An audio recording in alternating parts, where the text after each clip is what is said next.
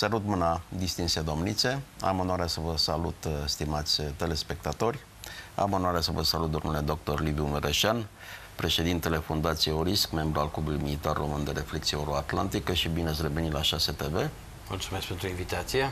Am onoarea să vă salut, domnule doctorant Flaviu Scaba Maria, care sunteți uh, vârful de lance a unui institut interesant uh, axat pe problemele Orientului Mijlociu, dar și membru al Clubului Militar Român de Reflexie Euroatlantică. Bine ați revenit la 6 TV. Vă mulțumesc pentru invitație. Stimați telespectatori, ne-am propus să, să discutăm despre un triunghi.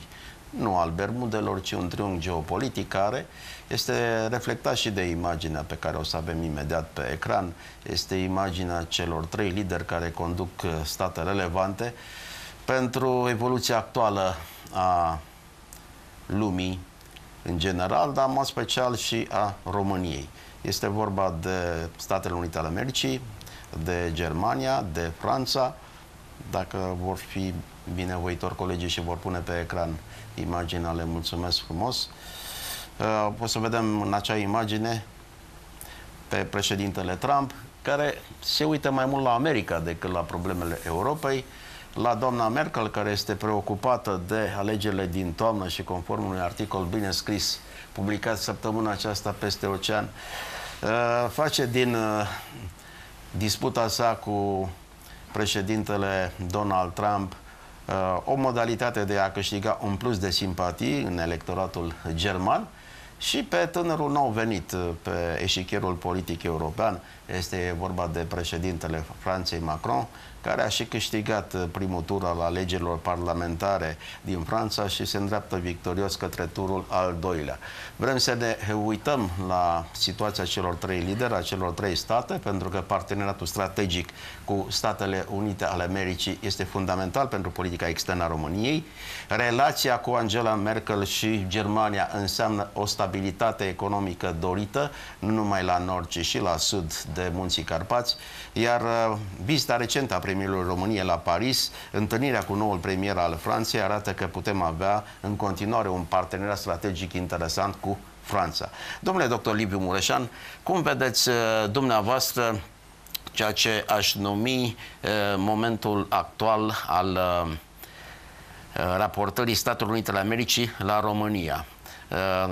Săptămâna trecută, președintele României a poposit la Washington DC.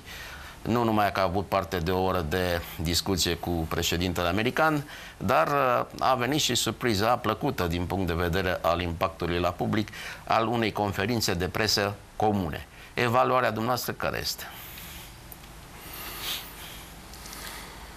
Acest uh, vârf al uh, activităților diplomatice ale României Um, al relațiilor bilaterale se datorează în mare măsură, dacă nu în cea mai mare măsură, unei conjuncturi internaționale uh, atât de complexe, o conjunctură internațională pe care mari lideri încearcă să o gestioneze uh, mai mult sau mai puțin fericit. Uh, suntem în într-o zonă în care uh, până acum am uh, pus pe masă numai cărțile acestea geopolitice de avantaje, dar uh, trebuie să ajungem și la partea aceea a adevărată că aceste, această expunere a noastră în această parte a Europei, în această proximitate cu, cu Asia, cu Africa, înseamnă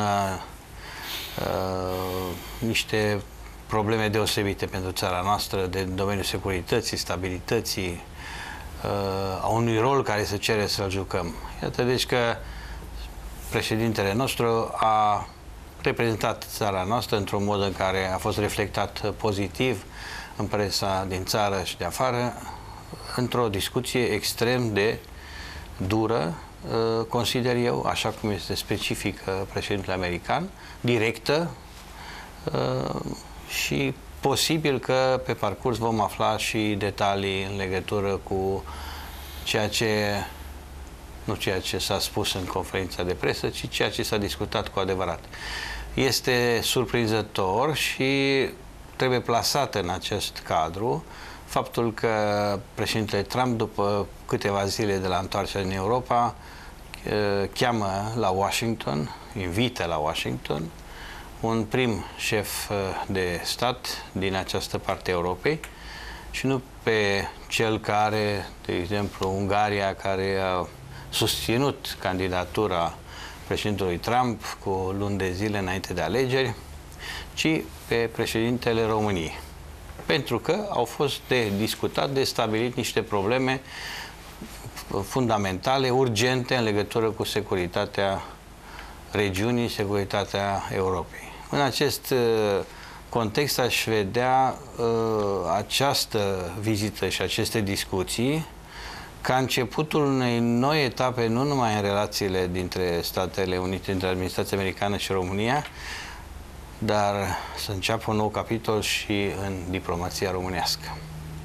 În același timp, vă întreb cum uh, apreciați uh, decizia de a-l invita pe președintele României la Washington DC și ulterior uh, de a se duce președintele Donald Trump într-o vizită în Polonia. Mi se pare firesc. Polonia și România sunt cele două țări. În această parte a în această extremitate a alianței, în această reprezentare a intereselor americane și, în mod firesc, trebuie date semnalele corespunzătoare. Ceea ce este onorant și probabil că a intervenit uh, o anumită uh, urgență este faptul că uh, nu a fost prima vizită în Polonia, cum a fost uh, firesc, să spunem așa, datorită ponderii uh, țării respective și relațiilor cu Statele Unite, ci a fost o primă discuție cu România și apoi se va merge în Polonia.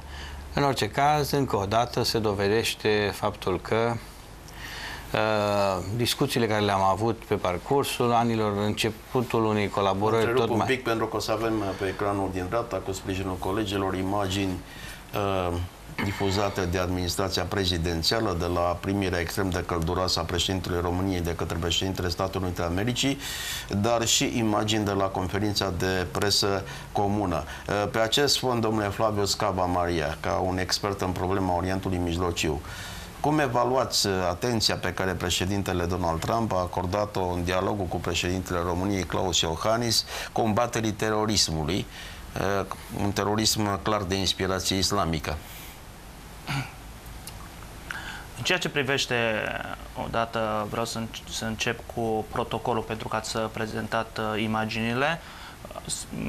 Protocolul s-a respectat similar și cancelarului Amer Angela Merkel, uh, specific vizitelor oficiale de la Casa Albă. Cu o deosebire, o să o vedem în da. partea a doua, cu Angela Merkel nu a dat mâna. Exact, da, asta o să discutăm, dar uh, să, referi, să revenim la problema terorismului. Uh, în, pe timpul campaniei și imediat după ce administrația Trump și-a început activitatea, prioritatea în politica externă a Statelor Unite a devenit lupta împotriva terorismului, cum uh, au afirmat uh, reprezentanții de la Casa Albă, în special pe terorismul de surginte extremist islamic, în special Daesh, aici mă refer, Daesh și statul islamic din zona Orientului Mijlociu. Aceasta fiind și una, unul dintre motivele pentru care s-a vizitat și Orientul Mijlociu, sau Trump a vizitat Orientul Mijlociu anterior, dar în discursul uh, președintelui, problema terorismului uh, nu este o problemă, să zic, nouă, e o problemă pe care o prezintă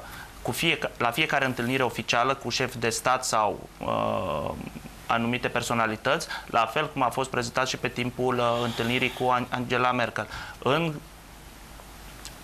fă, uh, am făcut puțin referire, deoarece am, discutăm și de cei trei lideri uh, uh, în, în, în această emisiune.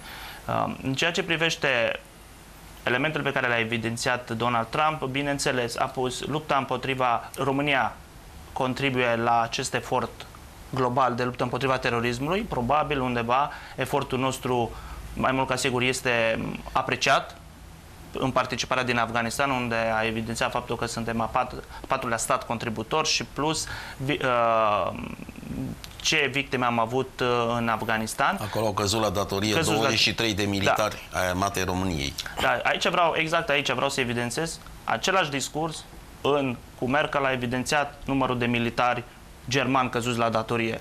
Deci undeva, cred că în cadrul discursului, bineînțeles, există anumite uh, componente care trebuie urmate actualmente, în special pe partea terorismului. Deci prioritatea numărul unu este terorismul, de aceea în politica externă, în special și măsurile care au fost adoptate, așa zis, împotriva Qatarului, unde a discutat foarte mult despre problema Qatarului și despre uh, rolul uh, Arabiei Saudite în această uh, zona Orientului Mijlociu. Imediat după ce a început să discute des, dis, în discursul său Donald Trump, după primele câteva minute sau da, două, trei fraze, imediat a discutat de problema terorismului, evidenții uh, statul Qatar, ca stat uh, implicat în susținerea terorismului, care trebuie um, stopată această finanțare, uh, acțiunile Qatarului, apoi rolul uh, uh, României în combaterea terorismului, toate acestea probabil uh, vor contribui, exact cum a spus și domnul profesor Mureșan, vizita aceasta realizându-se într-un context internațional aparte, efervescent în special în zona noastră, datorită situației tensionate, atât actorii de la mare, din regiunea Mării Negre, și anume Turcia, Rusia, vorbim aici, plus situația tensionată din Orientul Mijlociu, Uh, plus elemente extremiste din uh, Ucraina. Deci uh, acest efort în lupta împotriva terorismului, bineînțeles România probabil, sau inclusiv cu, cu participarea șefului Serviciului Român de Informații în cadrul delegației, probabil undeva va, România va juca un rol mult mai important în acest efort de susținere a luptei împotriva terorismului în cadrul alianței, mă refer, unde? Politica. Și discursul președintelui nostru a evidențiat faptul uh, în care alianța ar trebui să se implice și modul de abordare a problemei terorismului. Eu apreciez că în viitor vom asista la o dinamizare a acestor uh, proiecte în zona a noastră a Mării Negre, special și vorbind de România cu precădere. Vreau să sunteți un interlocutor plăcut, elegant, cu un discurs echilibrat, dar eu am să vă pun o întrebare incomodă legată de situația din Orientul Mijlociu, unde sunteți expert. Am citit în presa americană o semnalare Bill Clinton, când era la greu, asaltat de cazul Monica Lewinsky, care ea a fost, um, ca să fiu elegant, uh, prezentată prin uh, intermediul unui serviciu secret străin, ca să fie ulterior șantajabil. Deci când era sub presiunea presiei americane, Bill Clinton a fost de acord cu o intervenție militară americană în Orientul Mijlociu și presiunea a scăzut, a ieșit din situație.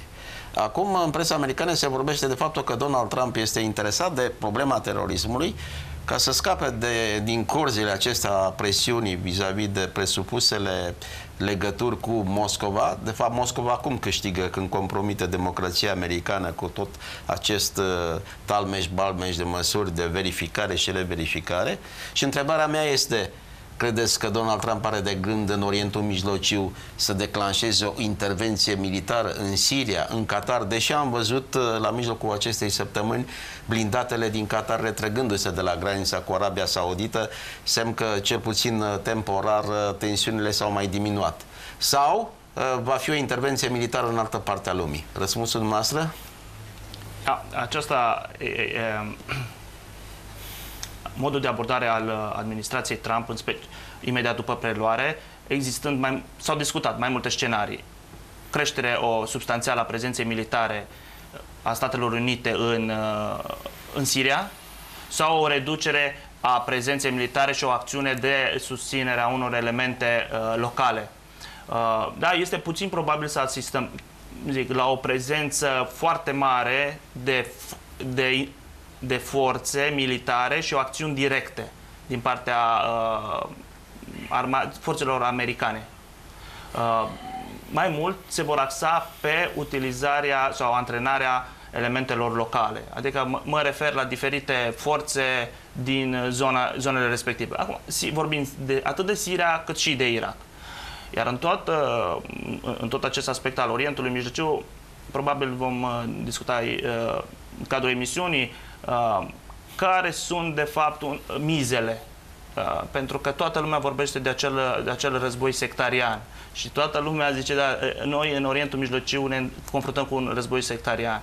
Eu apreciez totuși că este vorba de, actualmente un fel de război rece între două mari putere ale Orientului Mijlociu. Uh, bineînțeles, Iran și, și Arabia Saudită, dar nu din punct de vedere sectarian, ci din punct de vedere geopolitic, geostrategic. Acesta este primul aspect. Al doilea aspect este economic, influența. Toate acestea probabil vom avea timp în cadrul emisiunii să mai nuanțăm puțin. Uh, elementul sectarian undeva uh, pe locul 3-4 putem vorbi. Acesta trebuie, trebuie înțeles uh, pentru Orientul Mijlociu. Da, noi vrem să privim cum dorim noi Orientul Mijlociu și de aceea și unele politici occidentale, inclusiv uh, de la Casa Albă, modul de abordare a Orientului Mijlociu au avut puțin de, de suferit. Domnule Liviu Mureșan, ceea ce vedem pe ecran este o modalitate de exprimare a politicii externe a României, a politicii externe a Statelor Unite ale Americii. Apropo de politica externă a Statelor Unite ale Americii, uh, este o dezbatere acum la Washington uh, și un grup de generali prestigioși care sunt în rezervă Aș aminti aici pe generalul Petreus, aș aminti aici pe uh, Stanley McChrystal, uh, câțiva foști comandanți supreme ai forțelor ariate din Europa, Uh, câțiva foști șefi ai comitetelor întrunite, ai șefilor de state major de Pentagon, au avertizat că nu este bine să se taie cu 30% bugetul Departamentului de Stat, Departamentul de Stat fiind Ministerul American de Externe. Ba mai mult, uh, secretarul apărării, șeful Pentagonului, uh, generalul Metis, a spus dacă se ajunge la situația asta de la 1 octombrie 2017, atunci eu va trebui să cumpăr mai multă muniție. În mod paradoxal, la vizita președintelui președintelui României la Washington DC, nu a fost prezent ministrul român de externe, uh, de fapt, pe site-ul Ministerului de Externe toată ziua n-a fost uh, nicio semnalare a vizitei președintelui peste ocean. În schimb, președintele României s-a întâlnit cu uh, Tillerson, care este secretarul uh, Departamentului de Stat. Care e comentariul dumneavoastră vis-a-vis -vis de reperele înfățișate de mine?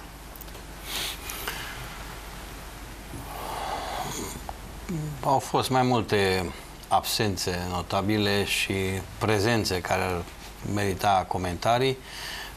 În contextul acesta al succesului vizitei, uh, simțeam nevoia și dacă putem să spunem direct, era o datorie ca alături de președintele României, comandantul suprem al Forțelor Armate, să fie și șeful statului major al armatei române.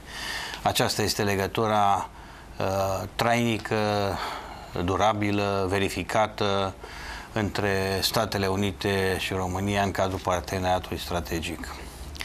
Uh, din uh, perspectiva acestei mantre a luptei împotriva terorismului, uh, dacă ne uităm un pic la comentariile care au apărut în ultimii ani și în ultima vreme mult mai des, se pun niște semne de întrebare în legătură cu această luptă împotriva terorismului care a, cons- a cheltuit din 11 septembrie până 11 septembrie 2000 până acum peste trilionul de dolari.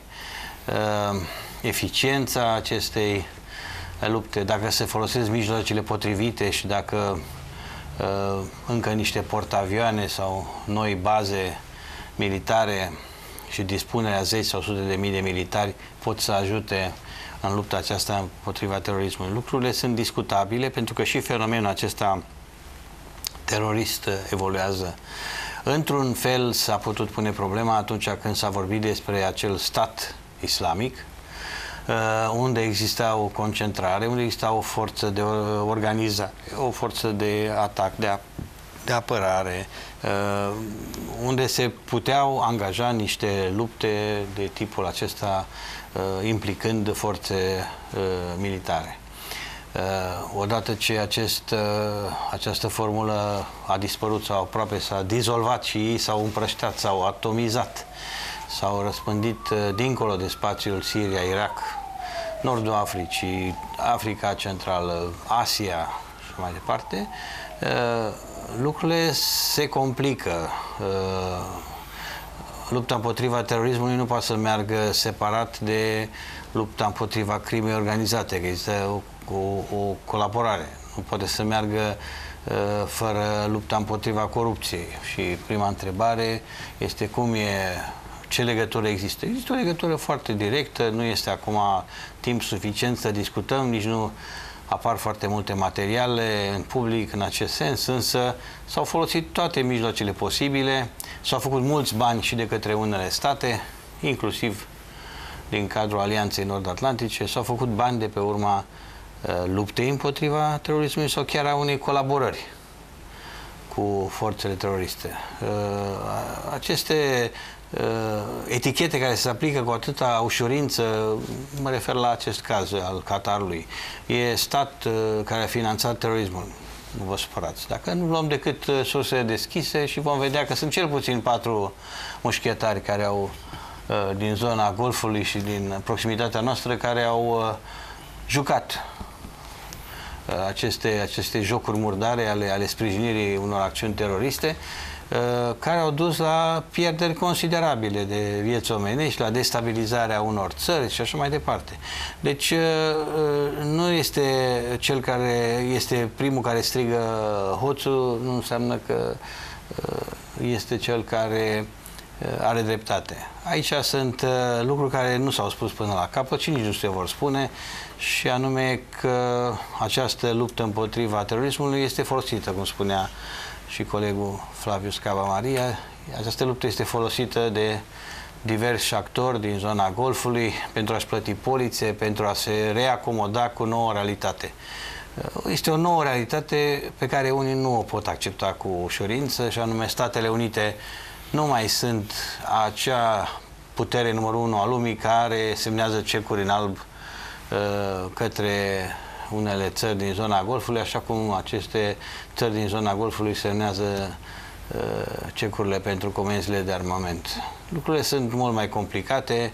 Uh, este o realitate care trebuie să fie la care trebuie să se acomodeze. Iranul, care a fost absent ani de zile din zonă, din jocuri, locul său fiind preluat de către, în mare parte de către Turcia și alte țări în zonă, Iranul a revenit, Qatarul este pedepsit și pentru colaborarea care o are cu Iranul și aici este pe mai multe planuri, pentru că cine se uită pe hartă, cunoaște un pic de istorie a zonei, își dă seama despre această proximitate și de obligația de a colabora. Uh, lucrurile, deci, în acest uh, context uh, sunt complicate și apar noi actori sau actori care au revenit, mari puteri, cum ar fi Rusia, care a revenit în zona Orientului Mijlociu și de la faza în care era acum câțiva ani, Rusia era o țară pedepsită, stătea la colț, pe coș de nucă, poate acum 4-5 ani, între timp stă la masă și hotărăște cine mai vine la masa respectivă. Uh, a apărut China care nu, uh, nu prea, în țara noastră nu prea se fac comentarii în acest sens și nu se scrie suficient, dar dacă privești uh, în presa de specialitate, atât din zona Middle East, Orientul Mijlociu, cât și din China, realizezi cât de complexe sunt aceste legături și cum se lucrează pe termen lung, pe decenii de acum încolo, în colaborarea Chinei cu această regiune. Uh, China fiind interesată nu numai pe proiectele acestea Belt and Road, uh, dar și pe combaterea terorismului care îl are acasă. Și ultimul plan, dacă vreți, uh, dincolo deci de cel teoretic general cu terorismul, de zona respectivă care este tot mai fiervinte Uh, și redevine o zonă explozivă cu noi, uh, noi, uh, cu noile reașezări.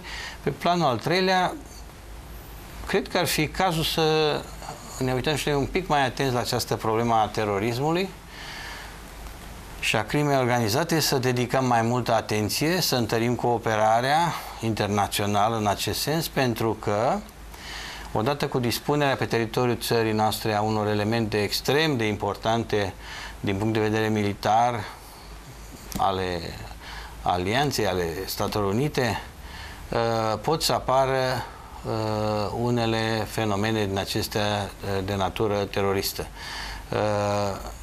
Un aliat important, dincolo de experiența recunoscută internațional a compartimentelor de luptă antiteroristă din, unități, din uh, structurile noastre un element extrem de important pentru această stabilitate care am avut-o până acum este uh, zona aceasta a minorității arabe din România, care de-a lungul anilor uh, au venit la studii în țara noastră, au rămas aici, s-au format familii. Este o comunitate de afaceri arabă care este părere personală, un jucător important și un contributor important la stabilitatea și securitatea noastră la această formulă de early warning în ceea ce privește posibile activități teroriste. Am o întrebare incomodă din nou pentru dumneavoastră. Deci, acum vedem pe ecran, stimați telespectatori, pe președintele Statelor Unite ale Americii lângă președintele României. Ei bine, presa americană a semnalat un fapt uh, pe care îl și repetă. Deci la summitul NATO, unde președintele Trump era tot în dreapta, dar în stânga se afla secretarul general NATO, uh, Donald Trump nu a vorbit de articolul 5 și asta a dat fior aliaților.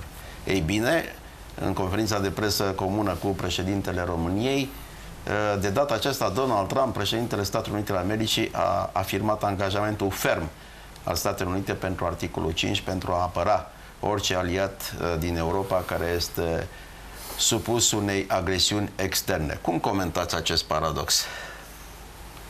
Hmm. Uh, iau partea pozitivă, faptul că uh, președintele american a vorbit despre articolul 5 în contextul vizitei președintelui României. Uh, ceea ce era un, uh, un mesaj mult așteptat și ce a dat o vizibilitate cu atât mai mare României pe plan internațional, prin această declarație în contextul vizitei respective. Să lăsăm un pic să se așeze praful și să vedem un pic uh, ce a fost în spate, de ce nu s-a spus atunci, de ce s-a spus acum, Uh, s-a spus acum pentru că erau și niște probleme de consum intern în Statele Unite care trebuiau să, să aibă niște răspunsuri. Deci lucrurile sunt mai complicate. Pornim de la... Lucrurile sunt atât de, de într-o dinamică atât de alertă și cu niște implicații deosebite încât pornim de la facts. Ne învață colegii americani. De la fapte. De la fapte. Deci s-a spus, deci suntem bine, alianța nu este Uh, demodată, alianța trebuie să funcționeze, trebuie întărită, uh, trebuie dați mai mulți bani, trebuie făcute mai multe eforturi, uh, trebuie colaborat, inclusiv cu Europa, articolul 5, deci formula clasică, ce avem de făcut Monday morning at 8 o'clock. Ce avem de făcut luni dimineața la ora 8? Practic, cum sunt uh, colegii americani, discutăm, ne gândim la niște soluții și la sfârșit se întreabă, bun, și luni dimineața cu ce începem? Ceea ce este un pic diferit de ceea ce se întâmplă în Europa. Stați în ambuscada mea. Știți de ce? Pentru că există un cor întreg de oameni în România care spun ne apără americanii. Ai văzut? Președintele Trump a zis articolul 5. Ca atare nu există pericol decât terorismul, trebuie să dezvoltăm forțele specializate în lupta antiterorism. Armata română lasă cu 2% dacă ne ajung banii, că și aici e o discuție dacă ne ajung sau nu ne ajung uh, banii. Deci uh, nu există pericol pentru România. Apar tot felul de personaje care spun că Rusia nu este o amenințare la adresa României. România este stat membru al NATO și NATO în doctrina militară a Rusiei este inamicul numărul 1 al Federației Ruse. Dar în România ni se spune, e liniște, e pace, stați liniștiți pe locurile voastre, ne apără militari americani. Țara e Americii sau e țara României? Deci, nu vreau să mă gândesc că cineva, în mod sincer, uh, își închipuie că mm, niște realități s-au schimbat de-a lungul a deceniilor, ultimilor decenii, uh, de sute de ani. Există un anumit comportament tipic al acestei realități uh, extrem de complexe și Uh, puternice care este aici, în proximitatea noastră, ceea ce este acum Federația Rusă. Deci, față de această realitate, uh, este important să uh, reușești să depui eforturile pentru supraviețuire, pentru a da semnalele potrivite de descurajare Și acestea nu se fac prin uh, simple declarații, se fac prin mai multe măsuri care până acum le-am tot amânat și în vorba de o armată care uh, văd că încet încet ajunge la dimensiunea armatei Elveției sau uh, Vorbiți de armata română, da? Armata română. Uh, o armată care trebuie să se re, reinventeze pentru că și ca număr și ca funcționalități, ca dotări și așa mai departe.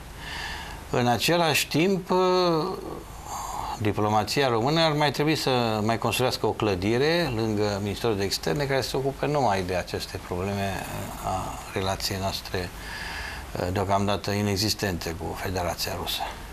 Deci toate aceste elemente trebuie combinate de așa manieră încât dialogul să fie permanent, însă și vigilența și, și riposta trebuie să fie pe măsură.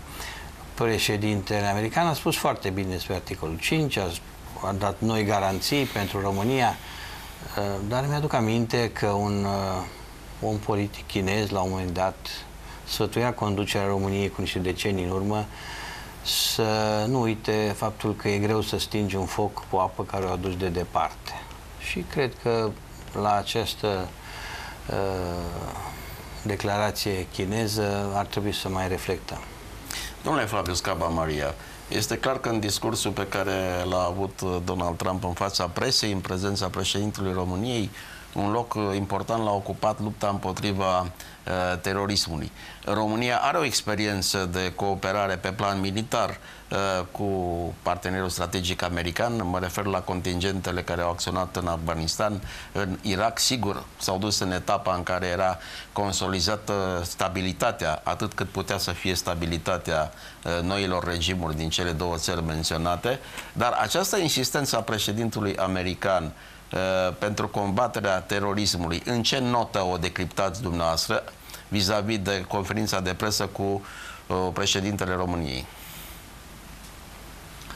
Deci de intenția, cum am și menționat și anterior, intenția este clară, prioritatea Uh, politicii externe americane este lupta împotriva terorismului. Exact după instalarea de la Casa Albă și pe timpul campaniei a menționat că acesta dorește Statele Unite, doresc Statele Unite să lupte împotriva, în special împotriva statului islamic. De, despre asta vorbim. În ceea ce privește, dar vor continua ideea, ceea ce privește experiența noastră, da, cum ați evidențiat și dumneavoastră, în Afganistan și în Irak, rom, uh, militarii români au depus eforturi uh, deosebite și au avut o contribuție semnificativă în diferite acțiuni alături de forțele armate americane, desfășurând acțiuni uh, împreună. Deci, de profesionalismul lor, uh, fără îndoială, nu cred că poate fi pus la îndoială. În Afganistan, cel puțin, au intrat nu neapărat când situația a fost stabilă neapărat, ci odată cu misiunea și Enduri Freedom, nu numai cu ISAF. Deci existând două misiuni suprapuse în Afganistan, uh, ulterior fiind reunite sub o singură comandă americană. Uh, militarii români au acționat atât în Enduri Freedom cât și în ISAF, în două campanii diferite, dar în situații total diferite și chiar ostile, mai ales în partea de sud a Afganistanului, în zona Kandahar. Uh, în ceea ce privește partea Irakului, uh, într-adevăr, un rol important, au avut, militarii români au avut uh, un, un, rol în diferi, un rol important în diferite zone, în special în lupta contra insurgenței. Acolo vorbim de insurgență. În Afganistan a fost o abordare diferită. De aceea, generalul Petreus, pe timpul cât a fost în Irak... David Petreus. David Petreus, uh, cât a fost în Irak, a dezvoltat acea uh, uh, doctrină contra insurgență, care ulterior, bineînțeles, au încercat să o aplice și în, uh, în Afganistan, dar, bineînțeles, aici acum puțin mai uh, succesul n-a fost același. Uh, Afganistanul prezintă alte particularități decât Irakul. Bineînțeles, până la schimbarea acestei abordări au fost diferite probleme. Bun, trecând de, de partea aceasta a discuției, mergând spre elementele teroriste, da, în Europa există actualmente o preocupare Uh, pentru, a, pentru combaterea fenomenului terorism, mai ales că apar în diferite state diferite incidente pe care noi începem să le considerăm teroriste. Uh, atât în, Ang- în uh, Marea Britanie în ultima perioadă, anii anteriori în Franța, plus pe înalte în Germania, în Belgia, bun, inclusiv în Franța, pentru că aceasta de, discutam, au început să a, a început Franța să-și stabilească un nou comandament sau un departament pentru contraterorism care să raporteze direct președintelui. Deci această preocupare se înscrie într-adevăr, iar noi în aceste acțiuni avem experiențe, chiar dacă pe teritoriul nostru național nu am, nu am avut, cel puțin până acum, uh, anumite incidente de anvergura celor din vestul Europei, dar din di, cauze uh, diferite. Uh, bun, uh, ceea ce vreau să evidențiez uh, și uh, din uh, elementele precizate de domnul profesor Mureșan și anume de ce la noi în țară uh, unele comunități, comunitatea vorbind de comunitatea musulmană. E, acest uh, aspect sau această experiență românească cu comunitatea musulmană este diferită decât de, probabil de oricare alt stat din Uniunea Europeană. Nu vorbesc neapărat din, din Europa. Din Europa am putea găsi și alte similitudini. Dar în Uniunea Europeană suntem diferiți. Nu trebuie să, să vedem că neapărat modelul românesc ar putea avea succes în alte state din Uniunea Europeană. Un, un moment vă întrerup pentru că avem o imagine care va adăuga un plus de savoare dialogului nostru. Pe timpul conferinței de presă comune cu președintele României, Donald Trump a fost pus în situația să dea și răspunsuri la probleme interne din Statele Unite ale Americii, fiind asaltat de jurnaliști americani cu întrebări punctuale și răspunzând la majoritatea dintre ele scurt și promițând răspunsuri ulterioare. Președintele Trump a fost sub un tir și rămâne sub un tir constant al uh, presei americane. Uh, ba chiar unele voci consideră că se apropie extrem de rapid, uh, dacă nu cumva deja este în etapa impeachmentului. Aș vrea pe această idee, întâi opinia dumneavoastră și apoi a domnului profesor rivalitățile existente în, în, pe scena politică americană, bineînțeles, sunt evidențiate încă din, dinainte de, de alegerea actualului președinte și imediat după, fiind una dintre soluțiile, așa zis, a rivarilor, pe care o mai, sau una dintre soluțiile uh, fiabile sau viabile existente care ar mai putea să-l scoată din joc pe Donald Trump de pe scena politică. Adică ceea ce a spus și dumneavoastră. Una dintre soluții. Nu mergem la o soluție mult mai uh, agresivă, adică fără să ne gândim la așa ceva, pentru că vorbim de un stat democratic. Uh, da, uh, oricum, în ceea ce, ce privește evoluțiile următoare, apreciez totuși că nu cred că vom asista uh, în perioada, sau cel puțin pe acest mandat, la astfel de mandatul lui Donald Trump la o astfel de procedură să se ajungă astfel încât uh, Donald Trump să, să-și piardă uh, portofoliul. Sunteți un optimist. Opinia dumneavoastră, domnule doctor Liviu Mureșan? Dumneavoastră sunteți pesimistul de serviciu. Să dăm un pic uh, timpul înapoi, cu câteva luni, și poate acolo avem răspuns la întrebările care ne frământă în prezent a existat un grad de, de dorință uh, de a scăpa de o, o echipă care a condus America ca persoană, ca familie, ca structuri și să se vină uh, cu ceva nou și care să răspundă preocupărilor reale ale americanilor. Am văzut locuri de muncă, o aplicare mai mult față de interesele Statelor Unite sau o prioritate față de aceste probleme interne. Și pe acest fond, uh, un personaj care a venit, uh, a văzut și nu a murit, uh, a venit, a văzut și a învins,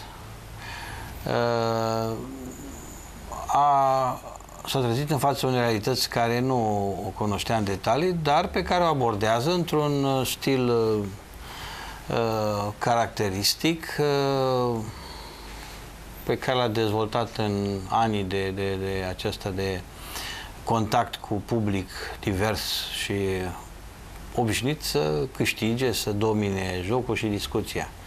Lucrurile s-au complicat în măsura în care au fost deranjate niște interese, asta folosind numai surse ale colegilor din Statele Unite, a statului profund, a unor structuri care erau obișnuite să consume, să devoreze bugete americane uh, trilioane, deci de, de ordine trilioane și cu efectul care s-a văzut. Și dacă ar fi să cităm numai pe ministrul apărării actual al Statelor Unite, care a constatat un nivel uh, lamentabil de pregătire față de sarcinile care și-au asumat uh, uh, americanii pe plan uh, global și dintr-o dată este un punct la care trebuia să se ajungă. Deci America are nevoie să-și pună la punct, după ani de eforturi deosebite care le-a făcut pe diverse teatre de operațiuni, să, să, să ia un respiro și să își facă ordine în zona aceasta a forțelor armate.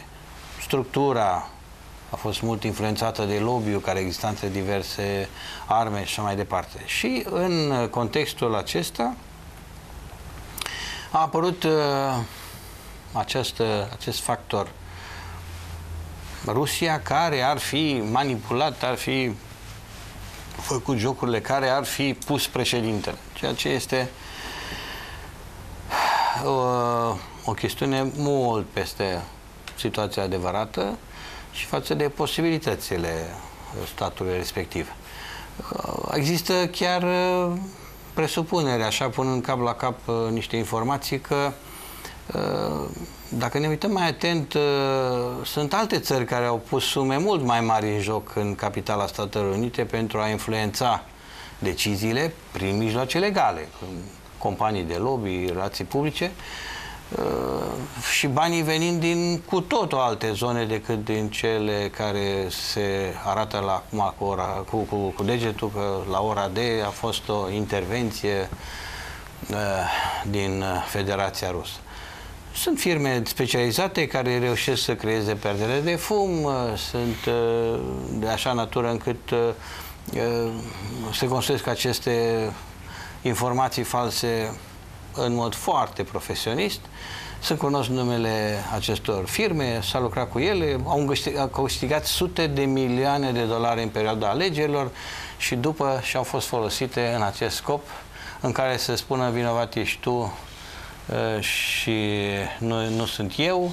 Uh, și dacă vreți, în, în mic se regăsește situația din, uh, din zona Golfului, Qatarul. A fost pusă eticheta repede țară finanțatoare a terorismului. Acesta este oaia neagră. Noi ceilalți suntem curați. Lucrurile sunt foarte complicate și aceeași situație se găsește și la Washington și la la Bruxelles și în alte capitale, unde aceste țări, dispunând de sume colosale, joacă și influențează deciziile și vedem niște atitudini ale factorilor decidenți absolut surprinzătoare. Deci nu poate fi negat o anumită atenție accentuată ca să găsim o formulă a Federației Ruse față de ce se întâmplă la, la, la Washington, dar uh, ar fi un cadou nemeritat uh, să spunem că sunt uh, cei care au făcut jocurile. Ați zis un cadou nemeritat și avem acum pe ecran, domnule Flavius Calva Maria, o imagine. Angela Merkel a făcut o referire în dialogul ei cu președintele mexican la nefericita dorință de a se ridica Uh, zidul la granița dintre Mexic și SUA. Adevărul este că zidul pe porțiuni uh, mari a fost construit și de președinții anteriori.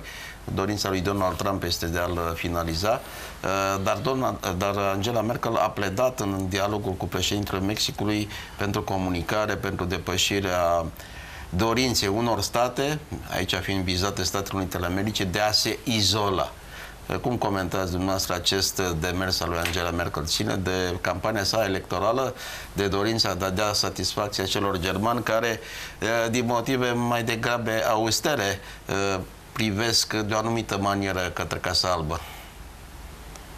Dată cu apropierea alegerilor din Germania, liderii diferitelor partide, inclusiv vorbind aici de Angela Merkel în, în speță, Uh, bineînțeles, au început deja și o promovare a campaniei, uh, unde trebuie să țină cont și de sensibilitățile majorității cetățenilor germani. Urmează, bineînțeles, uh, anumi, alegerile, iar în privința zidului, experiența germană îi diferită față de ceea ce dorește uh, uh, Donald Trump, uh, președintele american, să, să realizeze, și anume acest zid, ridicarea acestui zid. Experiența americană se bazează, uh, germană, scuzați, se bazează pe acel, odată, acel zid al Berlinului, în care Uh, nu cu izolarea despre ceea ce discutam și plus pe o experiență istorică de-a lungul timpului cu imperiile, cu zidul, inclusiv vorbind de zidul chinezesc la un anumit moment ce a reprezentat uh, de-a lungul istoriei. Deci aceste ziduri nu cred că sau apreciez că nu își au rolul de a stopa imigrația, imigrația refugiații, depinde cum vrem să, în ce categorie să-i, să-i uh, punem pe, pe oamenii respectivi nu, oricum, acest zid nu influențează uh, sau putem să ducă la concluzia de izolare. Totuși, nu vorbim de o izolare într-o lume în care comunicarea uh, online este primordială. Uh, da, face parte dintr-o anumită politică acest zid, dar nu își va avea rezultate, nu își va atinge rezultatele scontate. Știți de ce v-am întrebat pe dumneavoastră? Uh, telespectatorii știau că în Germania a fost uh, zidul Berlinului, care din fericire a fost dat jos, mai ales după ce Ronald Reagan s-a adresat lui Gorbachev în acest uh, sens. Nu e încă gata zidul de la granița dintre Mexic și Statele Unite, dar noastră ca expert în Orientul Mijlociu știți că există un gard am fost și l-am văzut da. în armata israeliană între teritoriul controlat de Tzahal forțele de apărare ale Israelului și uh, zona palestiniană. Acesta pe alocuri este gard din uh, sârmă, nu ghimpată, ci ca la gardurile noastre de la țară. Pe alocuri însă este ca la zidul Berlinului, din beton. Cât, departe, cât de departe este în Orientul Mijlociu lumea de comunicare normală? Uh, nu, în ceea ce privește de, despre comunicarea, despre asta vorbeam, uh, clar că situația Israelului e diferită în Orientul Mijlociu sau poziția Israelului total diferită, unde vorbim de state arabe și plus Turcia, plus Iranul, uh, alte state. Uh, poziția Israelului, bineînțeles, prin doctrina lor, e de apărare, au o altă abordare, dar comunicarea se realizează între uh, toate, atât între partea palestiniană, în Israel. Acest zid nu a blocat această, să zic, o comunicare, ci o deplasare a oamenilor, ceea ce a dus-o la o frustrare a unor cetățeni, fiind obligați să-și mute anumite familii dintr-o parte în alta, mm, inflamând uh, situația diplomatică dintre cele două state. Dar vom vedea și acțiunea uh, președintului american în ceea ce privește soluționarea acestei probleme dintre, cum și-a probabil să fie pe agenda politicii externe a, a actualului președinte acest, uh, această situație între Palestina și Israel. Uh, am văzut vizita în Orientul Mijlociu, a început cu Arabia Saudită, urmată de Israel. Aici apar, apar, apare o retorică și anume, oare lobby-ul saudit a devenit mai puternic decât lobby-ul israelian în Statele Unite?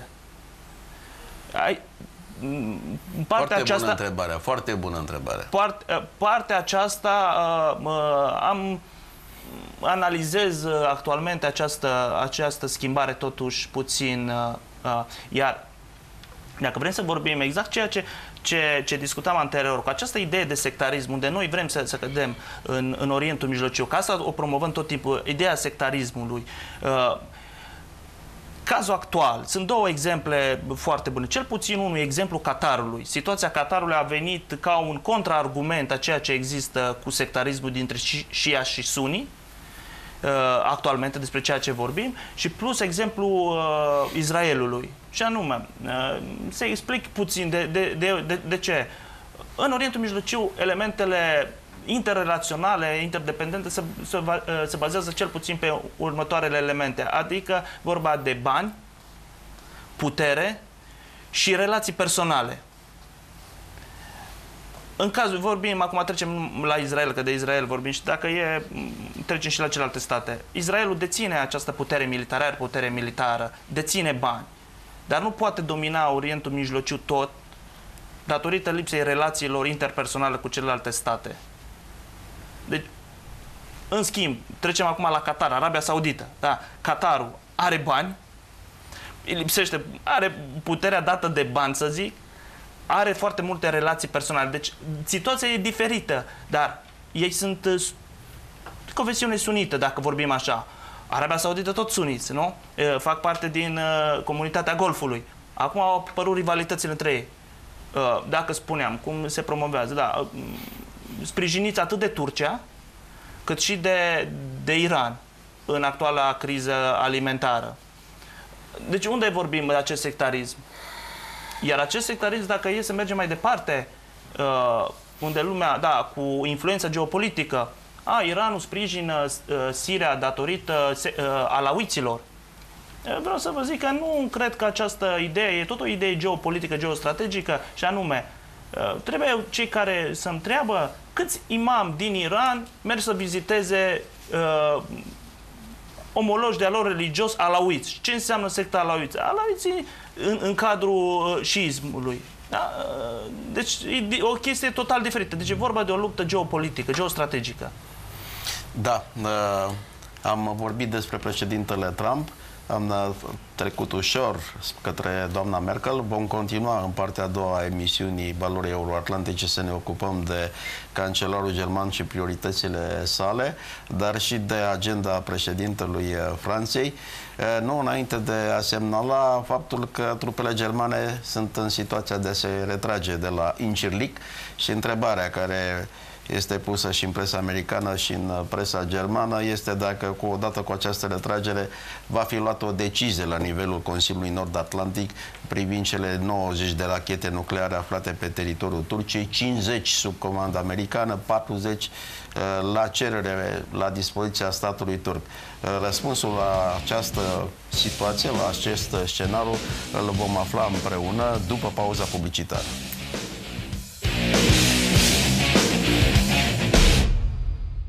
Continuăm emisiunea Valori Euroatlantice. Avem pe ecran acum o imagine sugestivă asupra intențiilor cancelarului german Angela Merkel de a ajuta pe cei săraci să rămână acasă, să nu mai vină în Europa, să nu mai creeze acel flux de migranți care a dat uh, furori uh, Eh, nu numai presei din eh, inima bătrânului nostru continent, dar a creat probleme ulterioare și celor care își doreau să trăiască pașnic în țara lor și au fost victimele unor atentate succesive eh, teroriste.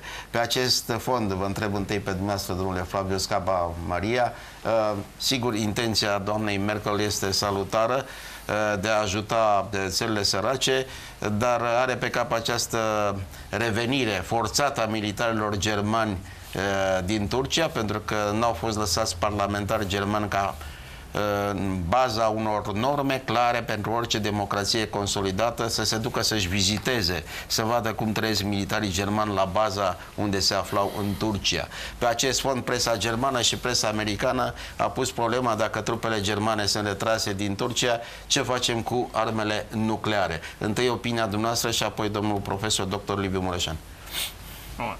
Această întrebare trebuie nuanțată mergând de la ceea ce ați prezentat cu întâlnirea cu liderii africani și până în Turcia. Uh, am menționat anterior, Angela Merkel se află în campanie electorală, trebuie să aducă anumite soluții viabile, mulțumitoare pentru populația germană în, în, în privința problemei migrației. Una dintre soluții sau una, un factor generator de, de a migrației uh, reprezintă sau le reprezintă statele africane. Uh, prin această întâlnire cu, cu liderii africani a aplicat acel principiu, trebuie să se creeze stabilitate, creeze locuri de muncă, o, o situație economică mult mai bună în țările de origine, astfel încât să nu mai asistăm la acel uh, flux continuu de uh, migranți. Ne întrerup un pic pentru că o să avem în minutele următoare, în fereastra din dreapta ecranului, imagini sugestive despre eforturile pe care Angela Merkel le-a făcut să înțeleagă. Administrația Trump a trimis două delegații înainte de a se întâlni personal cu președintele Trump și o să vedem că, spre deosebire de președintele Klaus Iohannis, nu a beneficiat de o strângere de mână, deși ziariștii americani au, aproape au scandat O strângere de mână, o strângere de mână, președinte Trump s-a făcut că nu aude și o să vedeți când Angela Merkel o singură dată îl întreabă ne strânge mâna, ceea ce nu s-a întâmplat. Lucru demn de reținut pentru că această dificultate de comunicare și cu viziuni diferite a președintelui SUA față de cancelarul german afectează și relațiile transatlantice la ora actuală. Domnule Liviu Mureșan, ce facem cu Incirlicu? Incirlicu fiind bază militară, de unde se retrag trupele germane, ca ocazie cu care s-a pus problema uh, celor 20 de rachete nucleare aflate pe teritoriul Turciei. Nu de alta, dar uh, au fost uh, jurnaliști români extrem de ageri care au pus problema dacă va fi o mutare a lor pe teritoriul României și structurile abilitate ale statului român au aruncat pisica de la un minister la altul. Ultima dată pisica respectivă a întrebărilor a căzut la Ministerul de Externe și acolo a rămas. Uh, Turcia este uh, la ora actuală o problemă. Datorită complexei situații interne, uh, conducerea turcă, președintele acestei țări, uh, ia niște măsuri care ajung să afecteze lucruri care păreau de neconceput, și anume apartenența Turciei la Alianța Nord-Atlantică, opțiunea aceasta, dacă vreți, de securitate, de parteneriat cu Statele Unite, uh, colaborările deosebite care au existat uh, și cu celelalte țări membre ale Alianței Nord-Atlantice din regiune și mă refer la România care uh, avea o relație deosebită cu Turcia. În prezent uh, ne găsim în fața unei uh, situații care așteptăm să se clarifice. Uh, e adevărat că pe teritoriul Turciei există această bază și există acele dotări, însă vedem că uh, Turcia nu a jucat uh, Uh, în cazul uh, acțiunilor împotriva uh, Irakului. Turcia s-a abținut, a, a, a pus la dispoziție această bază conform înțelegerii pentru diverse operațiuni, însă în ultima vreme a, a încuiat, a luat cheia și a plecat acasă. Antologic afirmația dumneavoastră. Uh, ori acolo sunt uh, mai mulți militari, mai multe dotări. Uh, este a noastră în momentul în care stabilim un mod de a gestiona această, această bază care are o importanță deosebită. În momentul în care țara numărul unu a, a Europei, a Uniunii Europene... Vă referiți la Germania acum? La Germania are o astfel de, de dacă vreți, de uh, frustrare, uh, întâlnire contondentă cu, cu conducerea actuală a Turciei, lucrurile sunt deosebit de complicate. În primul rând, în legătură cu semnalul care se dă, uh, poate să fie începutul unui un, unor operațiuni care se vor lua în continuare și asta rămâne să se hotărască la Bruxelles în legătură cu în viitor participarea altor țări pe teritoriul Turciei la astfel de cooperări. În același timp, să nu uităm că a spune gata, am încheiat, plecăm. Uh, politic e ușor adică mult mai ușor decât militar. Dacă nu mă înșel, pentru 200 de militari germani care pleacă cu bocceluța, să spare, pare spre Iordania, am înțeles că numai partea aceasta de, de infrastructură presupune vreo 200 și ceva de containere care trebuie mutate, inclusiv cu echipamente sensibile de comunicații care uh, au fost destinate acestui spațiu și acelui loc și care, mutate în altă parte, nu se știe cât uh, dintre ele sunt funcționale. Aceste discuții și aceste măsuri au loc într-un context extrem de complex în care Turcia, prin vocea directă a președintelui, a spus că ar fi cazul să ia în considerare și o apropiere de Shanghai Cooperation Organization, care este altceva decât NATO, este un NATO de Est, ca să spunem așa, alături de Federația Rusă, de China, de în curând India, Pakistan și altele, Asia Centrală. Iată, deci, o reorientare a acestei țări spre Est, Uh, cu toate că până acum a navigat cu ținând cont de busolă și a știut exact unde este vestul și unde este estul. În momentul în care este vorba de echipament uh, nuclear, bazat uh, în, în, în, în acel spațiu, lucrurile se complică pentru că există, după cum ați spus dumneavoastră, o anumită proprietate, o anumită gestiune a unora din aceste elemente nucleare și în contextul politic actual, puțin probabil ca Turcia să, e părere personală, să fie de acord să... momentele în care presa cere președintului Trump să strângă mâna cancelarului german, uh, solicitările sunt auzite, cancelarul german reiterează această sugestie a presei, președintele Donald Trump, impasibil, nu face niciun gest. Reamintesc telespectatorilor că la întâlnirea cu președintele României, președintele Donald Trump a strâns cu prietenie mâna omologului român. Da. Ce cu răceala asta dintre Germania și Statele Unite, domnule dr. Liviu Mureșan? Uh...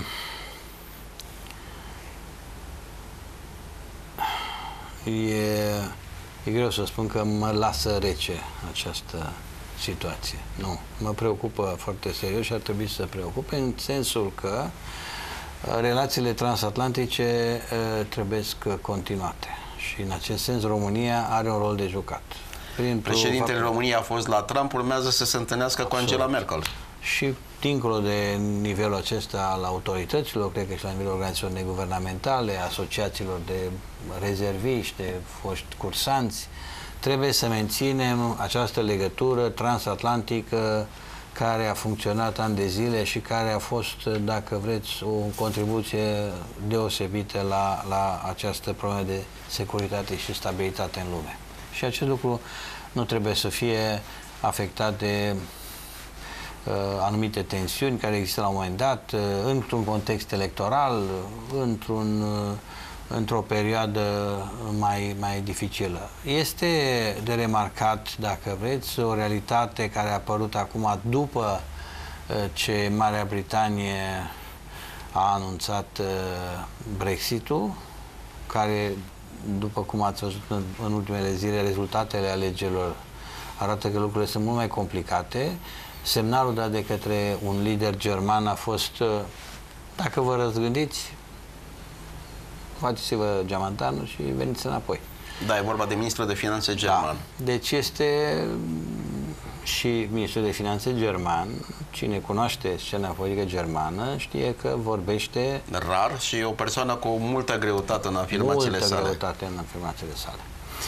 Uh, revenind acum la, la uh, imaginea care ați dat-o cu acel triunghi uh, Statele Unite, Germania, Franța. Asta pentru că președintele României a fost la Washington, se va întâlni cu cancelarul da. german și va avea și o întrevedere cu președintele Franței. Uh, este triunghiul mic. Dacă nu îl punem în triunghiul mare, Statele Unite, Rusia, China, nu prea putem să vorbim de Uh, geometrie aici care să explice. Da, dar am luat în vedere traseul diplomatic al președintelui României. Deocamdată să... vizita în Rusia n-a fost anunțată, în China încă nici nu se pune problema Sau... a președintelui României. Da, o vizită rusă în România, diploma, adică pe canale diplomatice, nu de altă natură. Deci, uh, hai să vedem un pic uh, triunghiul acesta mare, care uh, este gestionat de către Statele Unite, prin relații care se doresc acum reconstruite, să vedem cum cu Rusia, relații care uh, au fost așezate pe anumit făgaș uh, Nu să vorbiți de Rusia, China. o secundă, nu să vorbiți de Rusia, noi avem imagini de la G7, dar G7 la un moment dat includea și Rusia și era G8. Da, acum dacă luăm uh, analiști care spun că G7 nu mai este atât de relevant, situația internațională este mai bine reflectată în G20, S-au jucat tot felul de, de variante. Important este ca aceste întâlniri să fie ocazii de a prezenta, dincolo de fotografii de familie, de a prezenta uh, niște uh, reluări a unor relații diplomatice, inițiative noi, uh, contribuții reale la stabilitatea și securitatea internațională. Așteptăm evenimentele peste niște săptămâni, dar pentru că ați amintit aici de președintele României și de vizitele care face, este ceea ce doream să spun și eu, uh, iată că România uh, este prezentă uh, după Statele Unite, Germania și Franța, este prezentă în anumite, pe anumite agende. Acum să vedem în ce măsură uh, capitalizăm. În ce măsură România uh, trece de la a-și face lecția la a lansa niște inițiative, așa cum s-a, se știe din istoria uh, recent, uh, legăturile care le-a făcut România la un moment dat între Statele Unite și China și așa mai departe. Uh, deci, dacă avem aceste ocazii, noi trebuie să avem o diplomație care să, să facă față acestei situații. Și acesta nu înseamnă Ministerul de Externe. Este absolut greșit să pui în spatele acestui minister toate aceste lucruri. Ele sunt un, trebuie să fie un laborator complex al unor instituții principale ale statului, a unor forțe politice care să fie conștiente de momentul prin care trece România, de aceste șanse, să lase la o parte uh, problemele absolut uh, nerelevante de uh, poziții, de partid și așa mai departe, nerelevante, nu spun, în momentul respectiv pot să fie relevante, dar în, pe plan internațional nu, nimeni nu așteaptă să se clarifice niște Uh, probleme interne uh, într-un partid de guvernământ, în condițiile în care primul ministru este în vizită în Franța ca prim, primul invitat al noului prim-ministru francez și află că va fi schimbat, în condițiile în care președintele se deplasează uh, în aceste capitale și trebuie să explice ce se întâmplă acasă, ori de acasă sunt forțe politice care încă nu știu să să, să înțeleagă momentul în care ne găsim și că uh, sunt chestiuni care se pot rezolva și altfel decât uh, sub lumina reflectoarelor uh, și aceste chestiuni obligă la un nou mod de a face politică, dacă vrem până la urmă și în România. Uh, este de felicitat uh, uh, vârful de lance, președintele care a fost și va merge în diverse locuri și trebuie să aibă în spate și o, un guvern, o clasă politică, un parlament care să uh, absorbă informațiile care îi se dau în legătură cu aceste deschideri și în același timp să susțină uh, printr-o formulă coerentă, printr-o abordare strategică, o gândire strategică, dacă vreți, instituții strategice, să vadă ce facem cu România. Uităm că ne apropiem de momentul uh, aniversării a 100 de ani de la Marea Unire. Uh, nu dăm atenție preocupărilor altor țări în legătură cu momentele respective de bilanț istoric și uh, este o chestiune de îngrijorare reală cel puțin a mea personală față de această situație. Am înțeles. Domnule Flavius Scaba Maria, ce a discutat la modul concret în spatele ușilor închise în biroul oval președintele României Claus Iohannis cu președintele Donald Trump, vom afla treptat în timp. Certe că după prezența uh, la Washington a fost anunțată prezența la Berlin și întrevederea cu președintele Franței. Uh, sigur, uh, ne place această iluzie că președintele României va fi și un mediator în relațiile transatlantice pentru o mai bună percepere uh, de către Paris și Berlin a intențiilor președintelui american. Dar credeți că în discuțiile respective, dacă tot s-a amenințat, s-a vorbit de amenințarea uh, terorismului. Președintele Donald Trump nu a sugerat și o intervenție, o modalitate diplomatică de implicare mai mare a României în zona Orientului Mijlociu? Bun. Vreau să, vreau să încep cu unele elemente în ceea ce privește atât de, de vizită, cât și de relația, vizita președintelui uh, Iohannis, cât și relația uh, dintre Trump și Angela Merkel. Fac o paranteză.